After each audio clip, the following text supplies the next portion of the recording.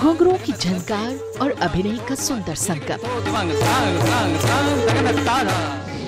घरानों में घराना काल का बिंदा बिंदादेन की आठवीं पीढ़ी का चमकदार सितारा।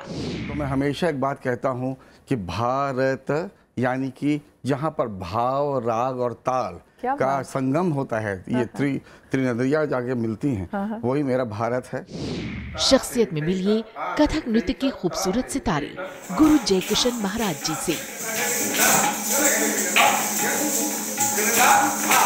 शनिवार रात साढ़े दस बजे और रविवार शाम साढ़े चार बजे, सिर्फ़ राज्यसभा टीवी पर।